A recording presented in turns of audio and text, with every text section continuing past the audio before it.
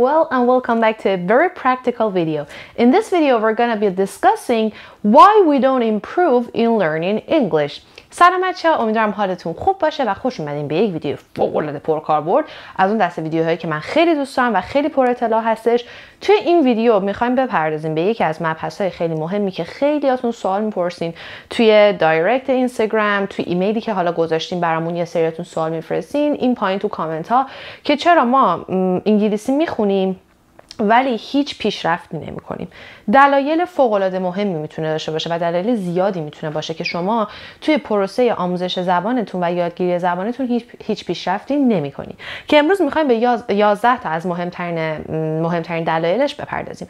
اما اگر که دکمه قرمز subscribe رو کلیک بکنید زنگوله بغلش رو هم بزنید شما همیشه اولین نفری خواهیم بود که ویدیو ما رو می‌بینید لذت و کلی مطالب آموزشی خوب ازش یاد می‌گیرید بچه ما قبلا یک عالمه ویدیو داشتیم راجع به اینکه چجوری انگلیسی رو بدون گرامر یاد بگیریم چجوری انگلیسی رو روان صحبت کنیم چجوری بدون اینکه فکر کنم انگلیسی حرف بزنم چجوری سریعتر زبان یاد بگیرم.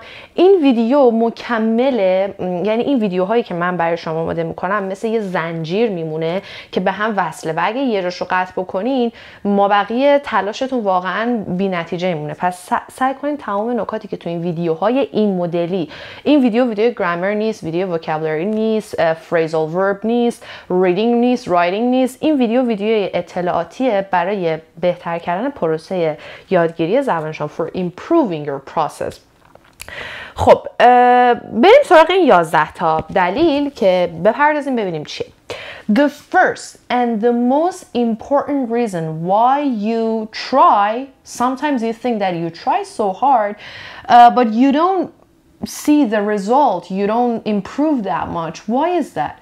The most important reason is that you don't spend enough time this is the most and the major and the main reason you don't spend enough time. I've always told you that for you to learn English, you need at least one hour every day. You need to learn a new language, a totally new language.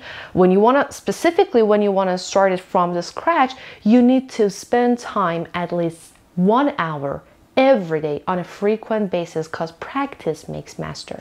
خیلی من همیشه بهتون میگم حداقل یک ساعت در روز و هر روز به یادگیری زبان انگلیسی اختصاص بدین. اگر این اتفاق نیفته بچه ها پیشرفت نمی کنین that's a fact. نمی‌خوام بگم که ناراحت بشین. چرا؟ دارم باهاتون رو راست حرف می‌زنم که به خودتون کمک بکنین. Minimum one hour every day on a frequent basis بعدم اینکه continuous باشه آن اف نباشه امروز می‌خونم فردا نمی‌خونم پس فردا می‌خونم یه ماه پشت سر هم می‌خونم بعد یه ماه ول می‌کنم that's not gonna work at all پس you don't spend enough time اینو از الان یه گوشه بنویسین. من مثلا خودم یه از این چارت های کوچیک دارم. مثلا گلامو که می‌خوام بهش برسم می نویسم مثلا این ماه می‌خوام مثلا توی درس فلانم A پلاس بگیرم. مثلا می‌خوام پرزنتیشنم رو به بهترین نحو ارائه بدم. می نویسم با این پینا وصل می‌کنم یا به در یخچال می‌زنم که همیشه ببینمش. امروز واسه خودتون بنویسین رو در یخچالتون در به در و دیوار اتاقتون هر جا که فکر می‌کنین. I should spend at least one hour every day to learn English better. İnu yaşaması koysun menesin. The second reason is that you're too passive. What's the meaning of being passive? Passive means, so we have two different types, active and passive. Active is a person who listens, who understands, who gets, and then produces whatever he or she is listening to, whatever he or she is seeing, whatever she has comprehended, she starts to producing it. That is an active learner. In contrast to active learners, we have passive learners. Passive learners are the ones who all the time, all the time I'm telling you that passive learners are shy, they're embarrassed, they're fearful, they don't speak because they they're scared. What if i say something wrong? What if i use the wrong grammar? What if this word is not right? These are passive learners. They just listen to whatever people say. They just see, read, write, but they but they never ever use whatever they understand, whatever whatever they get in different sentences. They just get. They don't produce anything at all. These are passive learners.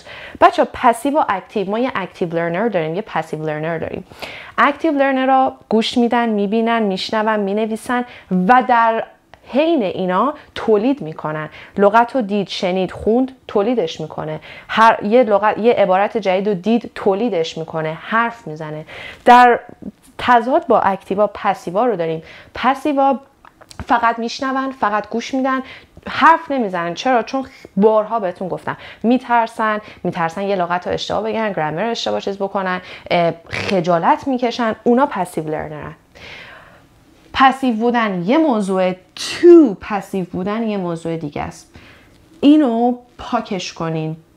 Try to be more and more active every day. And how to become an active learner? Practice.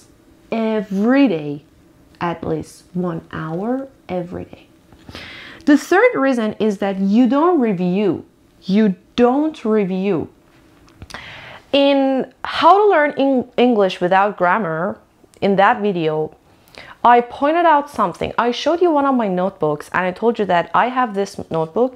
Uh, whatever new word I see, I write it, write it or write that words down and then I put them in context. I um, try to learn them because I don't want to be a passive learner. I want to be an active learner. So I put them all down in my notes, in my notebook, so that I can use them in the future. But what matters is not just writing all the words down and forget about them after a while. You need to get back to them. You need to review them. You need to um, go through all your sentences again after a while. من بهتون تو درس گرامر یه دفتر نشون دادم گفتم من هنوزم وقتی یه سری لغت میبینم مینویسمشون و ریویو و چیزایی که نمی‌دونم می نویسم search می‌کنم جمله های خودم می نویسم collocation باش پیدا می‌کنم.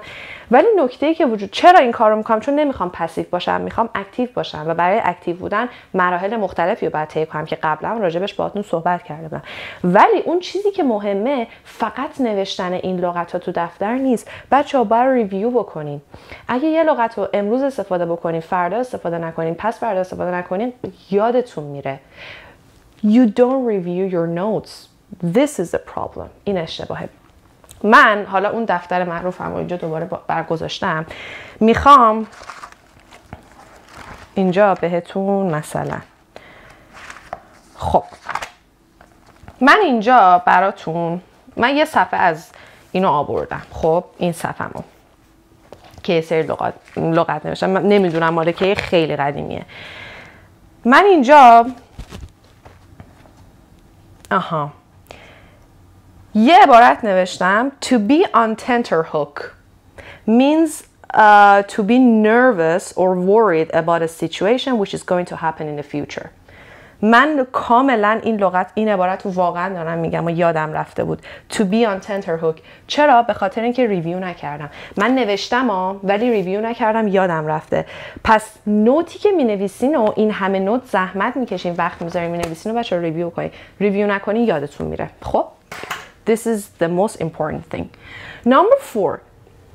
این مشکل من با همه با 90 درصد شما هست You rely on your native language a lot. What does that mean? میشه یه لغت رو می‌بینم تو رو خدا بذار فارسیش بفهمم چی میشه میشه معنی فارسیش رو به هم بگین من اوایل سعی می‌کردم بیشتر انگلیسی باهاتون کار کنم ولی دیدم خب یه سری واقعا حالا سنشون خیلی بالاست. یه سری ها توان یادگیری ندارن یا یه سری ها مثلا نه که توان نداشته باشن این حرف کاملا اشتباهه چون همه می‌تونن زبان یاد بگیرن.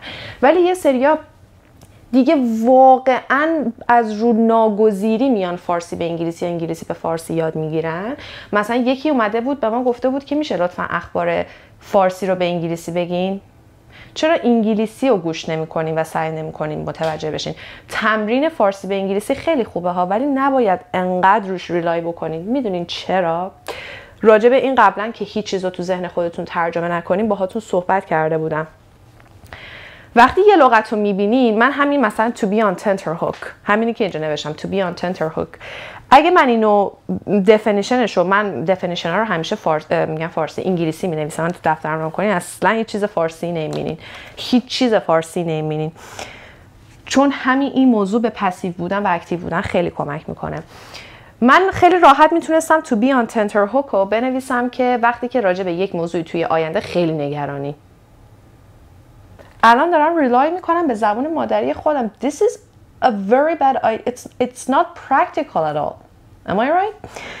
پس سعی کنید زبان مادری خودتون درسته شما مسترین تو زبان مادری خودتون ولی ریلای نکنید چون اگه من قرار باشه امروز این لغت رو فارسی یاد گرفتم فردا بخوام استفادهش کنم این چیکار می‌کنم باید توی پروسه چند ثانیه‌ای برم تا اون لغت رو پیدا کنم از فارسی به انگلیسی معنی کنم بعد پرودیوس کنم خودش داره داونگرید می‌کنه پروسه یادگیری شما رو این کار اصلا خوب نیست don't rely on your native language at all اصلا روش انقدر ریلای نکنین سعی کنین انگلیسی فکر کنین یاد بهتون هم یادم چجوری انگلیسی فکر کنین تو ویدیوهای قبلی Number five, your focus on your mistakes.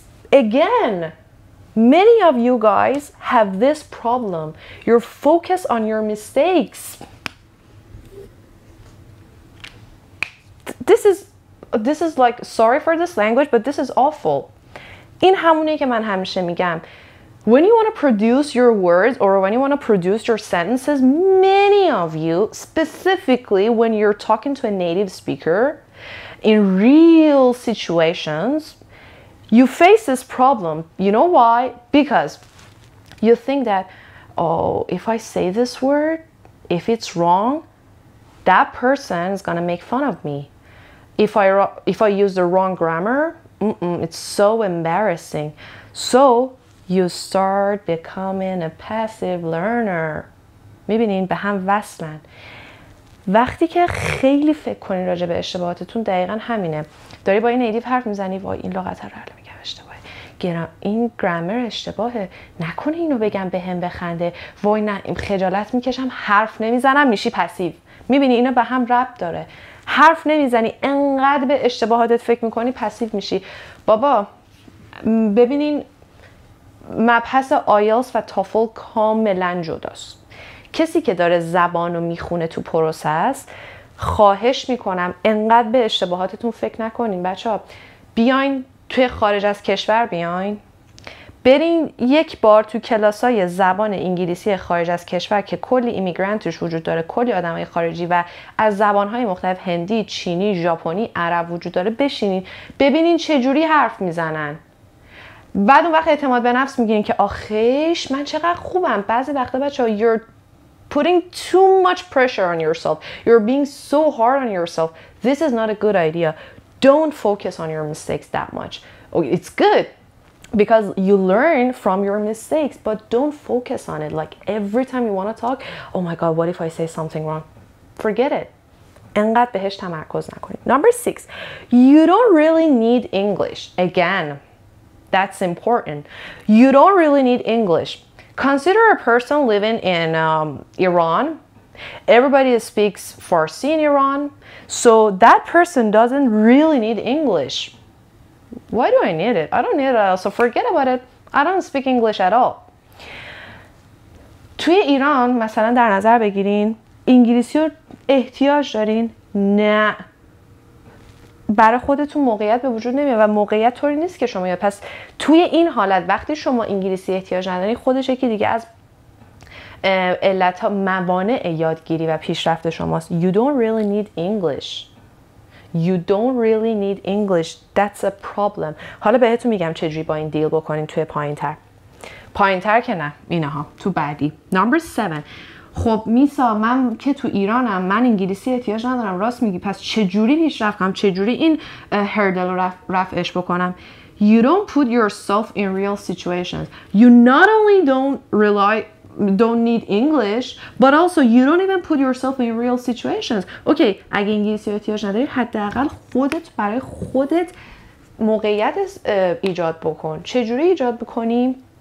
بچه ها اینو من بهتون میگم تکنیکه فکر کنین خودتون رو imagine that you're in a cafe in another country like in America imagine yourself in that real situations situation. Think that you're going to order your coffee you're going to order your breakfast there and then start speaking english in your imagination. You can easily make real situations in your imagination and that works. That helps a lot موقعیت های واقعی به وجود بیارین. تو خارج نیستین نه. ولی فکر کن الان آقا من اینجا وایستادم من دارم فکر می‌کنم که توی یه کافی شاپ کافی شاپ توی کافی شاپ تو آمریکا مثلا می‌خوام برم صبحونم سفارش بدم قهوه سفارش بدم. حالا میسم که به من صحبت کردن تو موقعیت های مختلف رو یاد داده. تو از آرایشگاه و دندون پزشکی بگیر تا آسون ترین تا خیاطی. همه رو یاد دادم. سعی کن از اون جمله ها. بچه می‌تونین به راحتی موقعیت های واقعی رو تو ذهنتون به وجود بیارین و این کارو بکنین اوکی؟ و یه چیز دیگه هم که می‌خواستم بگم آها. شما فکر می‌کنین بچه خیلی برای من آسونه. من یه جلوی دوربین میام با تخت حرف می‌زنم. اصلا آسون نیست. من واقعا شما برین ویدیو اول منو ببینین خندتون می‌گیره. چون من اون موقع خودم رو تو موقعیت واقعی تصور نمی‌کردم. سخت بود. نمی‌تونه یعنی حتی فارسی هم نمی‌تونستم حرف بزنم. الان نزدیک 35 6 هزار نفر تو چنل هستن و من باید خودم رو تصور کنم که دارم جلوی 36 هزار نفر آدم حرف می‌زنم. و با این فکر من تمرین می‌کنم میام به شما درس باور کنید این کار اصلا مثلا آسون نیست که من بیام یه چیز خیلی مهم یه پروسه آموزشی که من باید حرفان مطمئن باشم. 99 درصد چیزایی که میگم باید درست باشه چون 100 درصد نمی‌تونم بگم چون من I'm not a native speaker اوکی سخته ولی خودم می‌ذارم تو موقعیت واقعی. واقعا تصور می‌کنم که همه شما 36 هزار نفر الان توی این محیط نشستین و من دارم در مقابلتون حرف می‌زنم. So put yourself in real situations. Number eight. Again and again and again and again. You're too shy and fearful to speak. چقدر بگم؟ Don't be shy. Don't be fearful. Face your fears. Have a positive mindset. Otherwise you can't speak at all. حالا خودتو برو بکش. هر روز زبان بخون. هر روز تمرین کن. تا وقتی به ترسی خجالت بکشی هیچ اتفاق مثبتی تو زندگیتون نمیفته در رابطه با زبان. پس you're too shy and fearful. Don't be shy and fearful. Please بچه ها خوشحالم از اینکه خیلی به ما میگن تو ما اعتماد به نفس دادی که زبان یاد بگیریم. نمی‌دونین چه احساس قشنگی به هم میدین وقتی این حرف رو می‌زنین. و من واقعا خوشم اگه تونستم انقدر تاثیر تو این زمینه داشته باشم و انقدر اینو بهتون میگم تا همه شماها به این به این. به این خط برسین که دیگه نترسین. دیگه خجالت نکشین. هیچ کس شما رو مسخره نمی‌کنه. تنها کسایی که من متاسفانه بازم میگم دیدم همدیگر رو مسخره می‌کنن خود جامعه خودمونه. تو خارج از کشور شما جلوی یه هندی حرف بزنی اشتباه بگی نمیخنده. جلوی چینی حرف بزنی نمیخنده. چون خودشون هم اشتباه میگن. کافیه جلوی یه ایرانی یه لغت اشتباه بگی. یعنی یه جوری اینجوری به هد لبخند می‌زنه که بابا مگه چیه؟ مگه ایرادش چیه؟ مگه تو خودت هم مثلا قبلا اشتباه نداشتی؟ من واقعا متاسفم واسه این چیزایی که دیده میشه زیاد. Number nine you have the very negative mindset of I can't.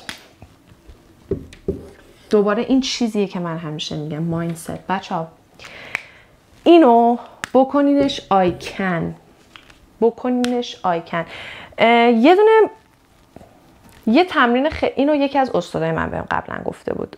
توی استاد استادی که دارم بهتون میگم استادی بود که تو ایران و من واقعا براشون ارزش قائلم. یه تمرینیه گفتش که بغل دیوار وایستا مثلا بپر دستت مثلا میپره من دستم می‌خوره به دیوارم بپرم. مثلا می‌خوره اینجا دستت. چند ثانیه مکس کن بگو من می‌تونم من می‌تونم من می‌تونم. دومین بار که می‌خوام بپرم دستمو بالاتر می‌زنم. نه که فقط من می‌تونم من می‌تونم.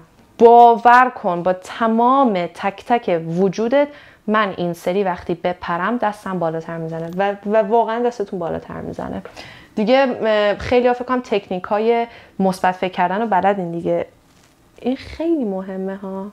شما تا خودت رو خودت کار نکنی هیچ کسی هیچ کاری واسه شما نمی‌کنه. خودت اعتماد به نفس قشنگ دستتو بده عقب نفس عمیق بکش برو جلو و مایندست رو پازیتیو کن. One of my professors in the university showed me a very very practical video.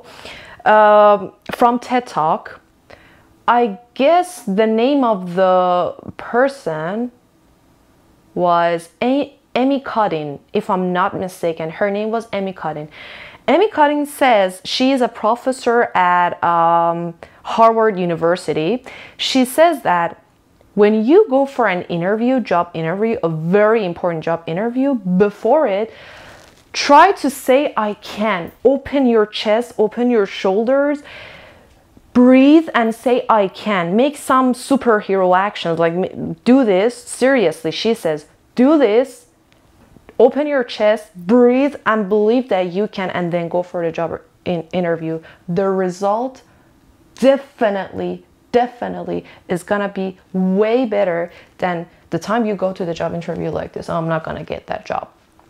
یه خانمی توی یکی از پروفسورهای من یه ویدیو بهم نشون داد. از TED Talk اسم فکر می‌کنم اسم اون خانم ایمی کادی بود اسم کسی که تو TED Talk حرف می‌زنه راجع به mindset داره صحبت می‌کنه. میگه وقتی برای job interview دارین میرین سینه هاتون رو باز کنین دستاتون رو باز کنین. از این superhero superhero دیدین میگن اینجوری مثلا تو د اینفینیتی هم بیان مثلا میگن. یا سوپرمن دیدین چه جوری دستاشو باز می‌کنه؟ واقعا میگه برین جلوی آینه چند بار این کارو بکنین نفس عمیق بکشین نفستون رو با صدا بدین بیرون. و بعدش برین واسه اون job interview تون و مطمئن باشین که result ش خیلی بهتر خواهد بود. روش research کردن. حتما این TED Talk و ببینین. تا زمانی که شما بگی آخ من این شغل نه من که می‌دونم این job interview جواب نمیده ولی بذار برم. واقعا مهمه. این ویدیو رو ببینید ایمی کادی. اسم ویدیوش هم اینه. Fake it till you become it. فکر می‌کنم. Fake it till you become it. اینو حتما ببینید. Number 10 you don't put things in context. چقدر اینو بهتون بگم you don't put things in context. من الان یه لغت رو دیدم. خب دیگه همین همه هم که سری خب Google Translate این میشه این OK فهمیدم. خب دیگه من این لغت یاد گرفتم. این بدترین روش یادگیری زبانه. بدترین روش یادگیری لغت. لغت رو یاد بعدا بهتون یه ویدیو درست می‌کنم بهتون میگم چه جوری لغت رو یاد بگیرین. هر چیزی که می‌بینین بچه تو متن بذارینش. من بهتون 504 یاد میدم. اکس می‌تونم بهتون بگم 90 درصد مثالایی که من تو 504 براتون می‌نویسم از خود کتاب 504 نیست.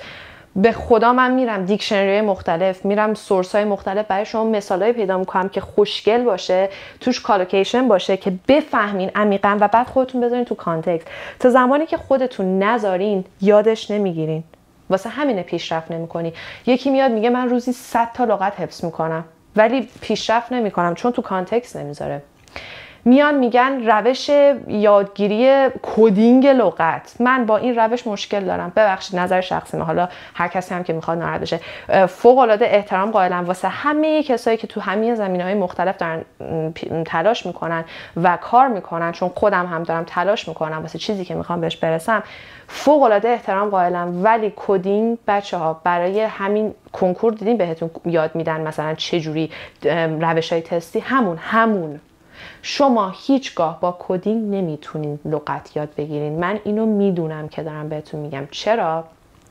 اولا که 80 درصد این coding هایی که واسه این لغت ها می‌ذارن pronunciation اون لغت رو چپرچلاق می‌کنه. اصلا خدایا چی بود؟ من چند وقت پیش دیدم واقعا خندم گرفته بود. از coding های 500 اصلا خنده‌دار بود. کجای دنیا این کارو می‌کنن؟ نکنید. pronunciation لغت کاملا عوض میشه فقط به خاطر اینکه شما یاد بمونه. بعد اون وقت میان یک معنی خاص اون لغت رو انتخاب می‌کنن با اون pronunciation چپرچلاق و اون معنی خاص یه جمله میگه. شما دیگه هیچ opportunity نداری که معانی دیگه رو یاد بگیری شما دیگه هیچ فرصتی نداری که بذاریش تو context coding و بیخیال شین عجله نداشته باشین خواهش می‌کنم جواب نمیده نمیده. شما تمرین کن یک ماه coding بخون یک ماه اینجوری بذار تو note. یک ماه اینجوری بذار تو note. واقعا به من بگو کدومش بیشتر جواب میده. نه که چند مهم نیست. بچه ها کوانتیتی مهم نیست. کوالیتی مهمه. مهم نیست 200 هزار تا لغت بلد باشی مهم اینه که هزار تا لغت بلد باشی ولی بتونی استفادهش بتونی پرودیوسش کنی. این مهمه. و آخرین دلیل you're too advanced. این برای کسی که لول زبانش الان مثلا C1 دیگه هر چی می‌بینه بلده. دیدی از یه جایی پیشرفت نمی کنی از یه جایی به بعد پیشرفت نمی کنی چون خیلی ادوانسی چون جلویی چون همه چی رو بلدی که این اتفاق فقط برای کسایی میفته که حداقل حداقل حداقل دارن 10 15 سال زبان می‌خونن. حداقل. فکر نکنی یه سال زبان خونی خب من دیگه ادوانسم دیگه اینا به خاطر اینه که من ادوانسم نو. بچه این اتفاق برای کسایی که حداقل 10 تا 15 سال دارن زبان می‌خونن. خواهش می‌کنم فکر نکنین الان ادوانس اینا 10 تا 15 سال دارن زبان می‌خونن و خیلی ادوانس شدن. حتی تو پیک پیک ادوانس بودن زبان انگلیسی هم یک عالم چیز هست که بعد یاد بگیرید مثلا دوره های CAE یه دوره دیگه بود اسمش یادم رفت. CAE آزمونش فکر می‌کنم تو ایران تا اونجایی که من یادم برگزار نمیشه. شاید هم یکی دو تا آموزشگاه باشن. CAE دوره فوق العاده ادوانسه که معمولا کسایی که برای مثلا دکترا و فوق دکترا و اینا می‌خوان اقدام بکنن حتما لازمه که دوره های CAE رو پشت سر بزن کتاب CAE ریزالت هم هست مثلا می‌تونید دانلود کنید ببینید ولی من از من اینو پیشنهاد میدم به کسی که الان ادوانس ها خواهش می‌کنم elementary یا یا intermediate ها نرن بشینن CAE بخونن. اونا برای ادوانس هست می‌خواین این کارو بکنین مقاله های پزشکی باید بخونین باید documentary ببین documentary خیلی خفنه مثلا پیشرفته ببینید. یا source هایی که دنبالش میگردین source های advanced باشه. این 11 تا از دلایلی هستش که شما نمی‌تونین تو زبان انگلیسی پیشرفت بکنین بچه همش خیلی از اینها رو من بیشتر این detail تر تو ویدیوهای قبلی براتون توضیح دادم. خواهش می‌کنم من اگه میام اینجا براتون وقت می‌ذارم 20 دقیقه 25 دقیقه حرف می‌زنم به خدا فقط به خاطر خودتونه و فقط به خاطر اینه که اعتماد اعتماد به نفس بگیرین. دیگه نترسین دیگه خجالت نکشین. مایندستتون رو این بالا رو عوض کنین مثبت فکر کنین. نمی‌دونین بهتون گفتم نمی‌دونین. وقتی حتی یک نفر میاد به من میگه میسا تو باعث شدی من دیگه نترسم و حرف بزنم؟ ببینین گوسپامپ گرفتم واقعا. یعنی اصلا تمام دنیا رو به من میدن. دوست دارم که این اتفاق برای همتون برای تک تکتون بیفته. از این روش ها استفاده کنیم ویدیوهای مکمل. این همیشه بهتون میگم مثل زنجیر به هم وصله. یه تیکه از زنجیر رو ببری این زنجیر آویزون میشه. انگار اصلا loose ه دیگه it has a loose end. به هیچ جا نمی‌رسه. انجامش بدین passive نباشین review بکنین تو context استفاده کنین خودتون رو بزنین تو real situation تا بتونین پیشرفت بکنین. امیدوارم که از این ویدیو لذت برده باشین. اگر موضوع یا نکته هستش که دوست ما تو ویدیو هامون در رابطه باهاش صحبت کنیم بسیار خوشحال میشیم که نظرات خودتون رو این پایین به ما بگین عکس تخته رو هم می‌تونید channel تلگرام دانلود بکنین. راستی اینستاگرام فرازبان official. بچه ما خیلی اینستاگرام جدیدن رو زدن. حالا مثلا channel تلگرام هم خیلی زدن. دیگه می‌دونین فکر کنم اصلیش کدومه دیگه. اینستاگرام فرازبان official هم بچه توش ما یه سری مطالبی می‌ذاریم که متفاوت با مطالب یوتیوب. اگه دوست داشتین اون هم می‌تونین داخلش عضو بشین. Till another video. Love you guys from deep deep deep down of my heart. Take care. See you soon. Bye bye